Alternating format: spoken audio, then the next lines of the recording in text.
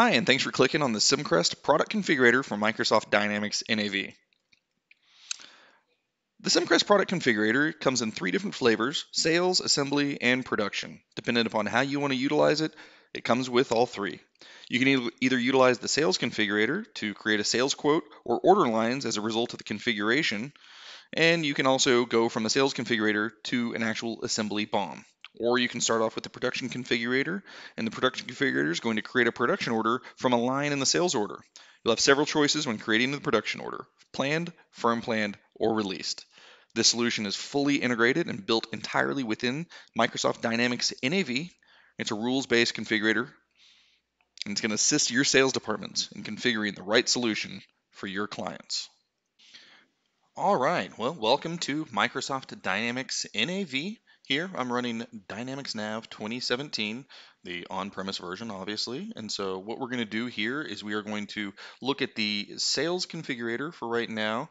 Uh, then after that, we're going to look at a little bit of the setups so you can see how it works. And then we're going to go into the production configurator and you can see how that works. So uh, let's jump right into it and let's go into the sales invoices where we're going to do the sales configurator. And so we are going to create a new sales invoice, which is going to be for one of my favorite clients, Klubben. And so Klubben is going to be the client that we work with here. So go down here to the line. We're going to look at the functions configurator, and you can see here that it only gives us the option for the sales configurator.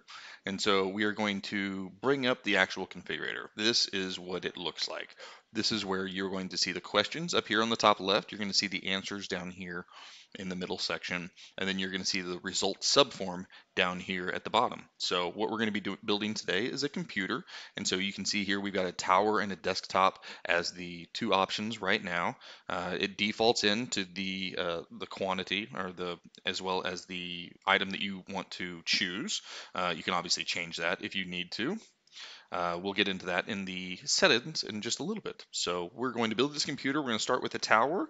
It's going to give us the options of the Pentiums that we want to use in this cabinet and so in this computer. And it's going to give us the default answers. We're going to click through here and look at the RAM and then get to the controllers. So you can either use the IDE or the SCSI. And here's where the triggers um, take place in this rules-based configurator. The rules are going to tell you which questions should be answered, which uh, answers answers are available to, you know, questions after you have answered specific questions and so that you can understand you know which available is which is available so you don't put three wheels on a bike and things like that. Uh, so the IDE controller is what we're going to choose here and so it's going to give us the options of the IDE disks. However if we went and chose the SCSI disk you would actually see the SCSI controllers that are available so that's where the triggers come into play to give you those types of options. Let's go ahead and click through here until we get to the end.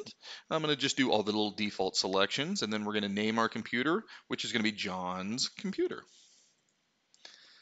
We're going to finish this off right here and you can see it's going to ask if we want to create a production bill of materials or we want to create an assembly bill of materials. We're going to not do either one of those. We're just going to click no. And as you can see here, it's going to explode those answers down here onto the sales invoice so that you can see the uh, items that are uh, going to be added to this computer and then you can see this total price.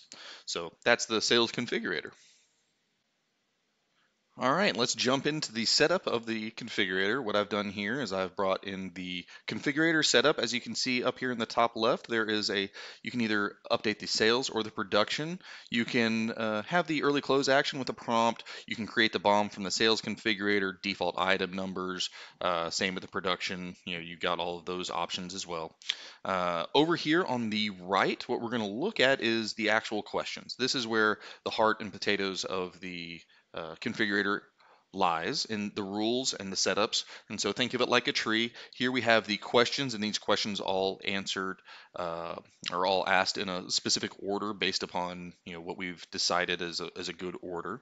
And so you can see here, here's the select the cabinet, here's the processor, the RAM, here's the hard disk, the SCSI disk. And so here's where we talked about the the triggers happening to answer questions or to you know, bring questions uh, that are relevant to the answers that you've previously posted. So the SCSI disk, what we're going to do is we're going to look at the card here. And so here's the answer card for the SCSI disk.